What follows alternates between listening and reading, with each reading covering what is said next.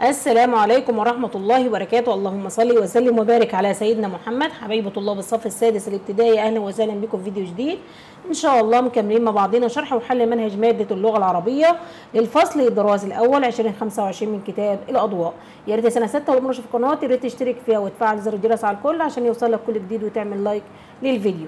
إن شاء الله هنحل مع بعضنا النهاردة تطبيقات الأضواء المتحررة على النص الشعري. في يوم الشباب طبعا ده أول نص مقرر علينا في الترم ده. إن شاء الله هنحل مع بعضينا من صفحة 86 وصفحة 87 يلا بينا نشوف الفيديو بتاعنا. عندي نشاط واحد اقرأ ثم أجب. أحيي في بني وطن الشباب وأبصر فيهم العجب العجابه وأرفع هامتي عزة عزا وفخرا بهم وأراهم الأمل المجابه شباب جزيرتي وصقور سربي ومن ركبوا إلى العليا الصعاب مضوا يتواثبون إلى مداها وينتزعون حقهم غلابا. قال لي اختر الإجابة الصحيحة مما بين القوسين. مرادف أبصر. أبصر فيهم العجب العجاب. أبصر هنا معناه أراقب ولا أتابع ولا أرى ولا أعتني. أبصر بمعنى إيه؟ أبصر بمعنى أرى. مضاد الامل قلنا المضاد اللي هو إيه؟ العكس. مضاد الامل طبعا إيه؟ اليأس. مضاد الامل اليأس. مفرد شباب طبعا إيه؟ شاب. عندي السؤال اللي بعده بيقول ده علامة الصح أمام العبارة الصحيحة وعلامة خطأ أمام العبارة غير إيه؟ الصحيحة. يوجه الشاعر تحيته إلى الشباب. طبعا هنا العبارة صحيحة. يرى الشاعر أن الشباب هم أمل الوطن العباره برضه هنا إيه؟ صحيحة. قال لك ما العاطفة المسيطرة على الشاعر تجاه شباب وطني؟ العاطفة طبعا المسيطرة عليه اللي هو الاعتزاز الاعتزاز الاعتزاز والفخر بهم وبأعمالهم.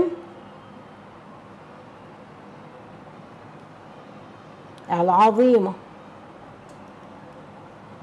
تمام.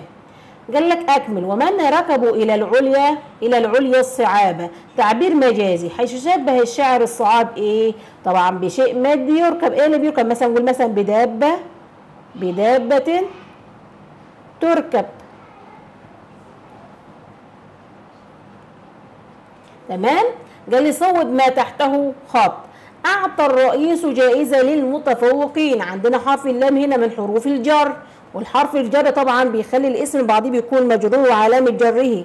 يا إما الكسرة يا إما إيه؟ الياء. الياء إذا كان جمع مذكر سالم أو إيه؟ مثنى تمام؟ المتفوقين طبعا هنا هتكون جمع مؤنث إيه؟ سالم. بنقول كده للمتفوقين.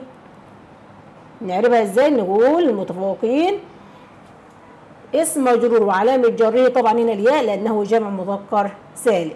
عندي النشاط رقم اتنين بيقول اقرأ ثم أجب. إذا أنا أكبرت شأن الشباب فإن الشباب أبو المعجزات. حصون البلاد وأسوارها إذا نام حراسها والحماة.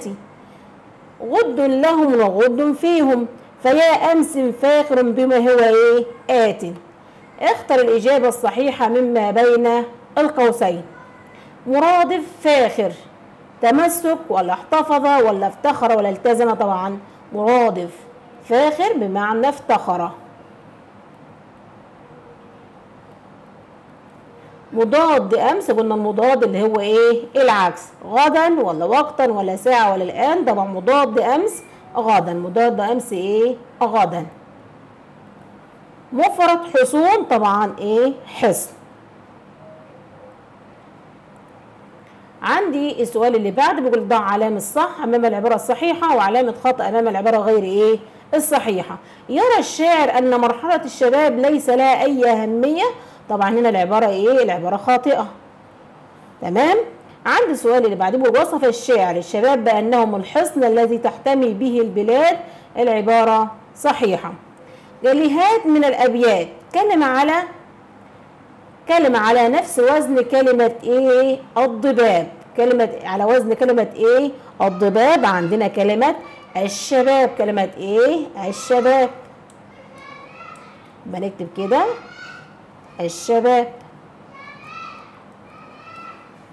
كلمتين لهما نفس القافية. إحنا قلنا القافية هو تواخر أواخر إيه الأبيات. عندنا كلمة المعجزات وكلمة إيه آت. كلمة المعجزات وكلمة إيه آت.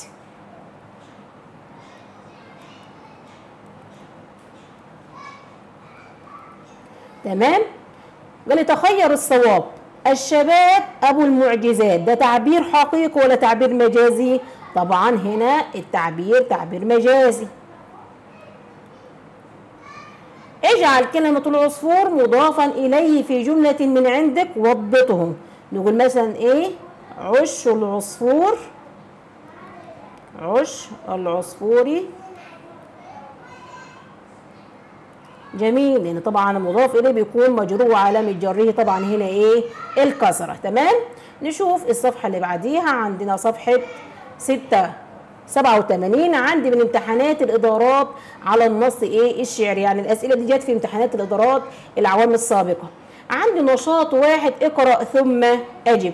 كل الشباب نصيحة من مخلص والنصح للأبناء خير ملاك خير ملاك. الأرض للإنسان يبني مجده في رحابها والبحر للأسماك والمجد لا يعلو بغير عزيمة تبني تبني الخلود على ردي وهلاك. لا تحسب أن الطريق تبعدت الحق لا يقوى بلا استمساك. عندي السؤال رقم أ بيقول اختر الصواب مرادف عزيمة شجاعة ولا تعاون؟ ولا إرادة ولا إخلاص. عزيمة بمعنى إيه؟ العزيمة بمعنى الإرادة.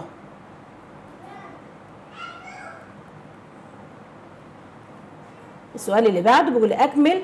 كل الشباب نصيحة من مخلص. أسلوب هنا إيه؟ طبعا هنا أسلوب أمر. كل الشباب أسلوب أمر. ما الذي يحتاج إليه الشباب لبناء المجد وإيه وإعلائه. دي طبعا جت في امتحان بني سويف 2024 طبعا بيحتاج إلى إيه؟ الشباب لبناء المجد وإعلائه. طبعا بيحتاج إلى العزيمة بيحتاج إلى إيه؟ إلى العزيمة. تمام؟ عندي نشاط رقم اتنين. بيقول لي اقرأ ثم أجب. يا معشر الشبان هذا عهدكم. فاسعوا لكسب المجد. سعي عظام. إن الشباب إذا سمى بطموحه جعل النجوم مواطئ الأقدام. أنتم رجاء الشعب أنتم عتاده وحماة في مستقبل الأيام. قال لي اختر الصواب مرادف رجاء. حب ولا علم ولا أمل ولا تعاون. أنتم رجاء الشعب. طبعا الرجاء هنا بمعنى إيه؟ بمعنى أمل. الرجاء هنا بمعنى إيه؟ أمل. قال إلى ما يدعو الشاعر الشباب في البيت الأول. بيدعوهم بإيه؟ بيقول لهم يا معشر الشبان هذا عهدكم فاسعوا لكسب المجد سعيا عظام. طبعا هنا الشاعر بيدعوهم إلى السعي يدعوهم إلى السعي للحصول طبعا على إيه؟ للحصول على المجد. رقم جيم قال لي أكمل. فاسعوا لكسب المجد. ده تعبير إيه؟ طبعا فاسعوا لكسب المجد. ده طبعا تعبير مجازي. تمام؟ وبكده يا سنة ستة وصلت معاكم لنهاية الفيديو. أتمنى تكونوا استفدتوا. يا ريت ما تنسوش في اللايك والاشتراك في القناة وتفعيل زر الجرس على الكل عشان يوصلكم كل جديد. والسلام عليكم ورحمة الله وبركاته.